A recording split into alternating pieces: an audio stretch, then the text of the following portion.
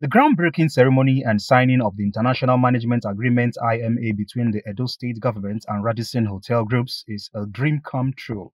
The project is said to have been sitting in its present location for decades, adding zero value to the economic growth of the state, and now it's been made official by the IMA signing. In a opening remark, Edo State Commissioner for Finance, Mrs. Adaeze Aguele Kalu, said it is Governor Godwin Obaseki's vision to spur development and growth and bring about even greater transformation of the state. As we all know, hospitality and tourism is a very critical component to foster economic growth and development.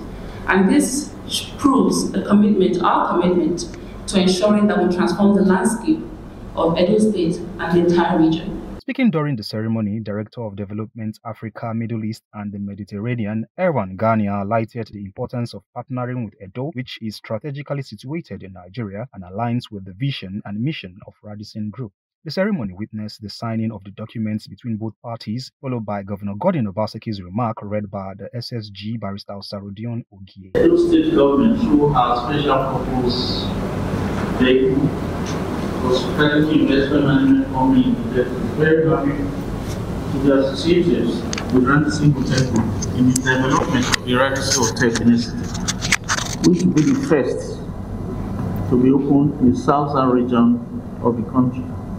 The parties later went on a guided tour of the nearly completed facilities where they hinted at the expected opening date in 12 months. This is definitely a project that aligns perfectly with His Excellency's vision to make Edo State great again. We definitely have a good story to tell.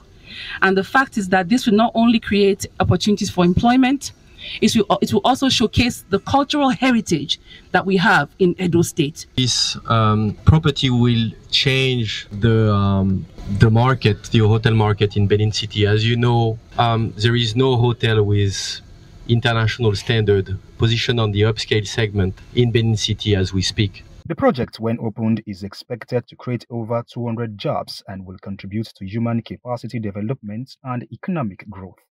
Moses Agboma EBS News